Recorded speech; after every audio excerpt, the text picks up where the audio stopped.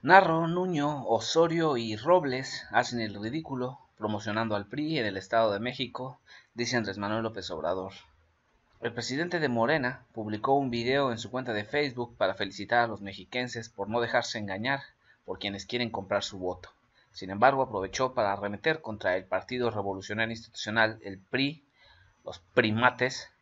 Están muy nerviosos, muertos de miedo, aseguró López Obrador. Ayer hicieron el ridículo.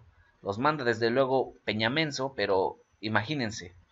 Nuño con Erubiel, el secretario de Educación Pública entregando pulseras en el Estado de México.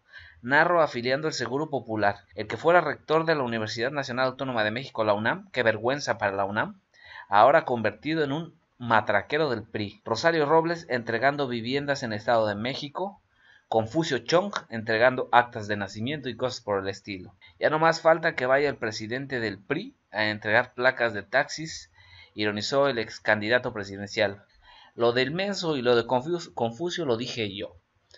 Eh, también hace falta que la gaviota salga a hacer una novela en Televisa para promocionar al primo de Peña Nieto en el Estado de México y, que salga el burro a decir que el populismo en el Estado de México no debe de ganar o alguna estupidez por el estilo. En fin, ojalá que las personas del Estado de México ya se hayan puesto las pilas y, no le den ni un solo voto al PRI, por favor.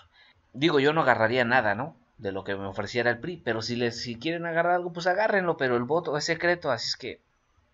En fin, de acuerdo con Obrador, la candidata de su partido, Delfina Gómez, va a la cabeza de las preferencias electorales en la entidad y confió en que los mexiquenses van a agarrar todo y a la hora de la hora les va a decir tomen su voto, pero van a sufragar por un cambio verdadero, concluyó. Pues es la frasecita que decía Vicente Fox, agarra lo que te dan, pero vota por el pan. Ahora, pues, ¿cómo se le acomodaría a Morena? No sé.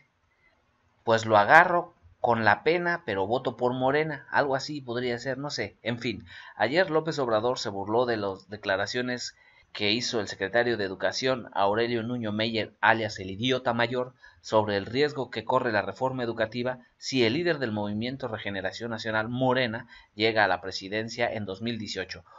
No, sí, qué miedo nos da la, que la reforma educativa vaya a tronar. Como ya vamos subiendo de nivel en, en los exámenes de PISA, ya del último lugar subimos al último lugar. Pero no es tan malo, dice el idiota Meyer, porque eso demuestra que no hemos bajado más. O sea, hasta baboso es.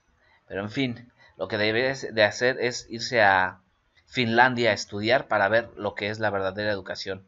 Y mandar a todas las escuelas primarias y secundarias que no estén cobrando cuotas como si fueran inscripciones porque la educación es gratuita y está en la ley. Pero no, eso nunca lo van a decir porque cuánto dinero roban las escuelas, pero en fin, Nuyo Meyer expresa que se acabará con la reforma educativa para meter miedo como si fuese una cosa muy buena la reforma educativa. Hasta risa me da, dijo Andrés Manuel López Obrador. El día de hoy, el ex jefe de gobierno capitalino estuvo en una asamblea informativa en Ixhuatlancillo. También en Veracruz. Yo creo por eso andaba también en Veracruz. Cienfuegos lo ha de andar siguiendo. RH Noticias. Quiero darles un gran saludo a todas las personas que comparten, que comentan los videos. Eh, les, les quiero agradecer mucho y ojalá que todos hagamos un poquito de lo que nos toca para, para que en México haya un cambio.